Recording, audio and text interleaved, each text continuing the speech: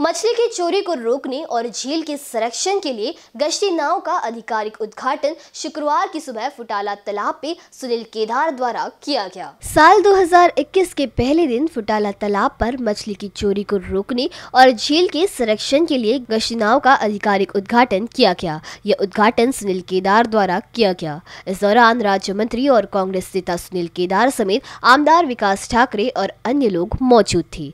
इस अवसर पर सुनील केदार ने पत्रकारों से संवाद साधा। मत्स्य नौकाबद्दल एवढं सांगतो की हा आमचा पायलट प्रोजेक्ट आहे नागपूर जिल्ह्यामध्ये.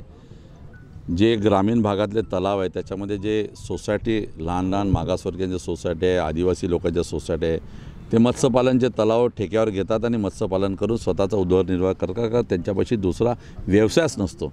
पण त्याला मदत करण्याची भूमिका त्याला मदत करण्याची योजना ही आहे. समुद्रामध्ये आहे ही योजना समुद्रातल्या मत्स्यपालन लोकांना मदत करण्यासाठी गस्ती नौका आहे.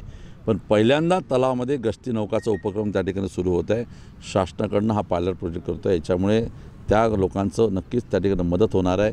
मत्स्याचं बीज ते टाकतात पण तेवढं मत्स्य निघत नाही मग त्याची राखण. एखादाच केच कल्चरचा उपक्रम राबवला तर त्या केच कल्चरमध्ये जाण्यासाठी तिथपर्यंत जाण्यासाठी त्यांची व्यवस्था नसते. ह्या सगळ्या गोष्टीला अनुसरून आम्ही ही योजना राखलेली आहे आणि मला पूर्ण विश्वास आहे की याच्यामुळे मत्स्यपालन असलेल्या संस्थेचं आर्थिक उत्पन्न वाढणार आहे.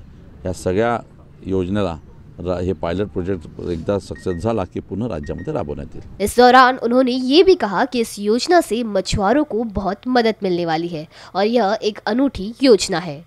कैमरा पर्सन राजकुमार मोहड़ के साथ दिशा हटवार बीसी न्यूज़ नागपुर।